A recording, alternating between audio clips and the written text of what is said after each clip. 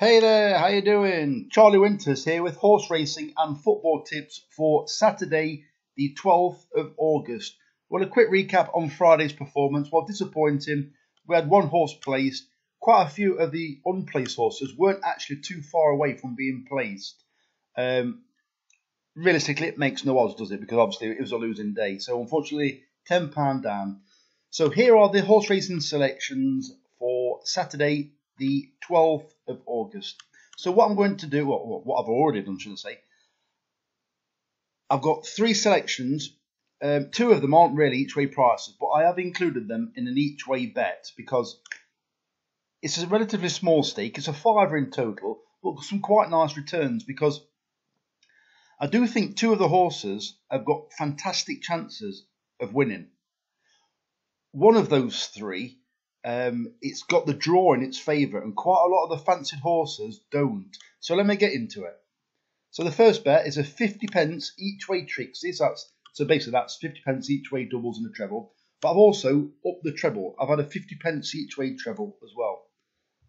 So here are the selections. So the first selection is Evening Story at 6 to 1 in a 3 minutes past 2 at Redcar. It's drawn two, and I'm convinced they will head towards the far side. I looked, um, I looked at the occasions when they do head to the far side, and they've even headed across on good ground, where it's given out as good to soft, good in places. There are quite heavy showers forecast right at the beginning of, racing. Maybe they might arrive there a bit earlier. I don't know. It's not enough to change the ground, but it might be enough to change the opinion of the jockeys of where they race. And I think you can't go wrong going to the far side. So this horse is drawn to. Quite a lot of the fancied horses are drawn much higher.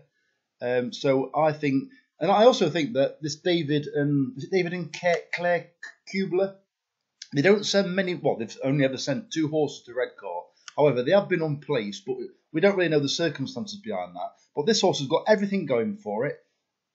The only the only doubt is the fact that it's making its reappearance. But why send it quite a quite a distance to Redcar when if if it's not right, you'd send it to your local track. Well, this isn't their local track. So yeah, so the first selection is Evening Story at six to one in the three minutes past two at Redcar. The next selection is Zoffee at 100 to 30 in the 10 past 2 at Ascot, paying four places instead of three. If you go back two runs ago, it ran a monster race and it's been dropped one pound since then, since I believe it ran disappointingly in the Northumberland Plate. I could be wrong about that race. Um, I think it was a Northumberland plate. If you just say that it didn't handle the all weather as well as they wanted it to, I don't know. I'm clutching at straws now, but it was a disappointing run. Frank is on board tomorrow, or Saturday, should I say? So um, I think it's expected to run well, and it's about time Hugo Palmer like got his act together. It was up and coming um, a few years ago. Then what he did, he, he got the um, I think he got the Tom Dascombe stables. A lot of his horses not really not really done a great deal since. He has had the odd decent winner, but I just feel as though he's like um, treading water. If that's if that makes it, you know, he just um, just just getting by that kind of thing.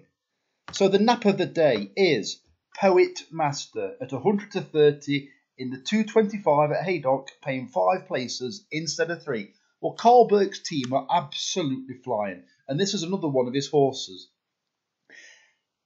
I don't normally go for horses each way when they've won the last two because there's no, normally no value. However, it's a much more competitive race than it's ran in before. However, this is one of the selections that for years now I've, I've, I've followed this, and I also, I also follow it by when I pick other selections. But this is this I believe is first time in the handicap, but its racing post rating is miles ahead of its given handicap mark. I do believe, I could be wrong, I think it's off 92 tomorrow or 96. It could be 92 or 96, it doesn't matter. But already it's posted in two runs, racing post ratings of 86 and 102 most recently. In my opinion, all it needs to do is reproduce its last run, and it's, it can be very hard to beat. Don't don't get carried away with this because obviously it can finish last. Don't get wrong, it's only ever run twice, so we haven't really got like a, a large cross section of form, so like to go on. But it actually won over the course last time. Um, Sam James is back on board. They'll know all about this. Karl Burke will know all about having a decent horse. Sam James will know all about the horse or know at least what he's performed so far. I, and Sam James probably would have given feedback saying, when Burke's asking, "Do you think it's got a chance in this race?" And looking at the looking at the opposition, it's a competitive race. But I think Sam James is more like to say, "Yeah, I don't see why not." Uh, improving horse, and it's from powerful owners as well. So um, I think it's got a cracking chance. So that's the main bet. So let's get on to the next bets. So the next bet is a 13 pence each way, lucky 31, and a 40 pence each way accumulator.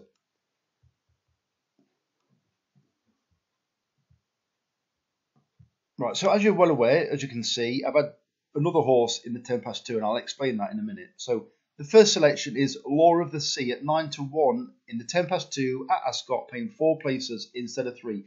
Ian Williams loves a winner, like most trainers at Ascot. I think he had seven horses declared for this last night. I was going through, I thought, crikey, he's um, intent on having a runner. Well, I think he's still got three or four in the race anyway. But I do like the look of this horse. Um, it's been a bit patchy or a bit ropey with its form, but it's been running over further, or sometimes it's been run over further. It's it's back at two mile um, on Saturday, and it has been occasionally running over two and a half mile. I think it, its best trip will be two mile, and I think he's been basically saving it for this race or saving it for this kind of distance. So I think it's got a good chance. The second selection is Knowlton Cross at twelve to one in the two forty five at Ascot, paying four places instead of three. The third selection is a selection that I backed at Royal Ascot. I thought it it was William Buick doesn't doesn't often give horses bad rides. I thought this was this was disappointing. What a disappointing ride. This horse has got quite a lot to do still though because it's I, believe it's a listed or group race. Just give me one.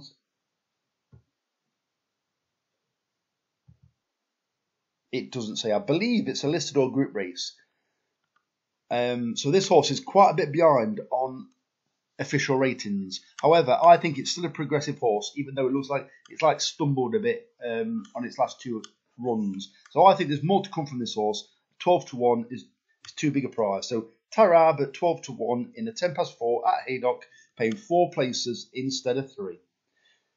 The next selection is Washington Heights at 9 to 2 in the 4.30 at Ascot, paying four places instead of three. This horse was running well even when Kevin Ryan's stable really quiet.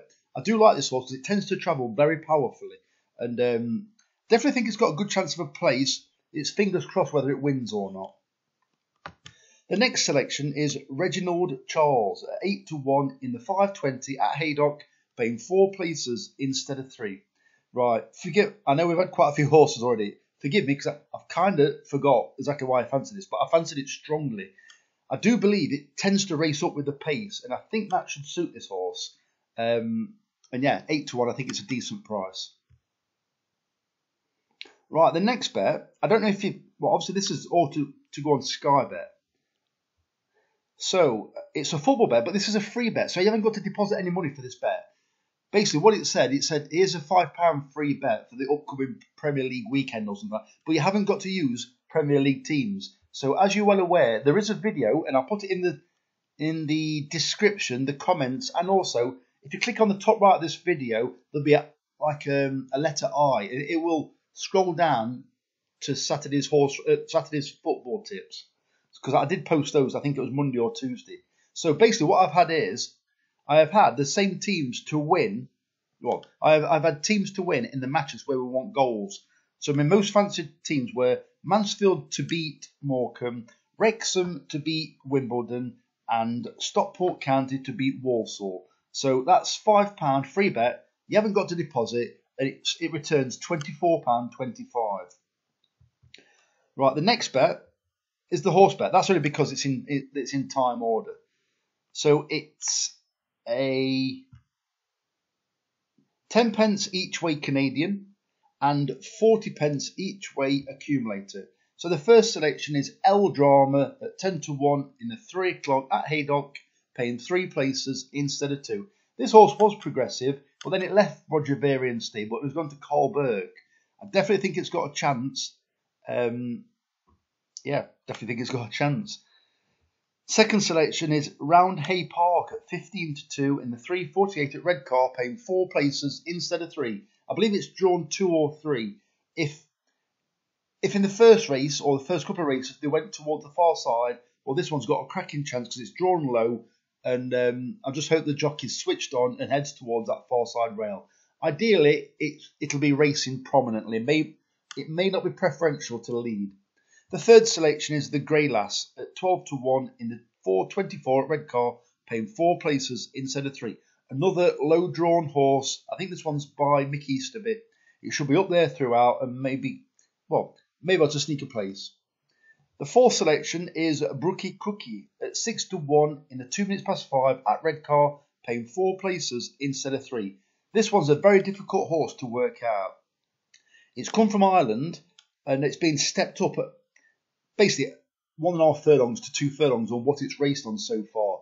It's been slowly away and never been involved all three times. This is another horse that two of its races have been its racing post ratings have been above its handicap mark. But I can't read too much into that because it's Ireland Irish form.